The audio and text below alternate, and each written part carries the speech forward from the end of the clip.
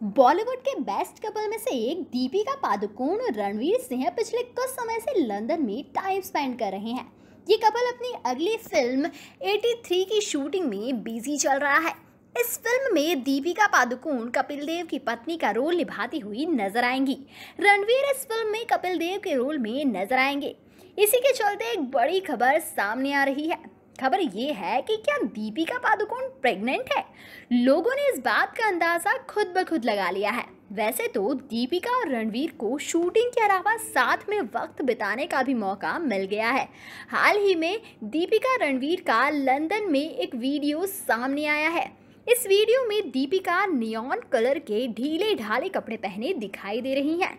वहीं रणवीर अपने रंग बिरंगे कपड़ों में ही नज़र आ रहे हैं।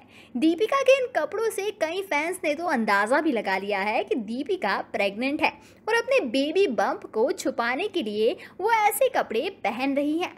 हालाँकि ये सिर्फ़ एक अफवाह है। दीपिका रणवीर ने नवंबर 2018 में दो रीति रिवाजों से इटली में शादी रचाई थी। तब से कई बार दीपिका के प्रेग्नेंट होने की अफवाहें उड़ चुकी हैं। इन दिनों पर कुछ दिनों पहले रणवीर अपने फैंस के साथ लाइव चैट कर रहे थे। इस चैट में दीपिका का भी एक कमेंट आया। उसी में उन्होंने लिखा है, हाय डैडी। इसी के चलते लोग ये अंदाज़ा लगाने लगते हैं कि दीपिका कहीं प्रेग्नेंट तो नहीं है। Subscribe our channel and press the bell icon for more updates.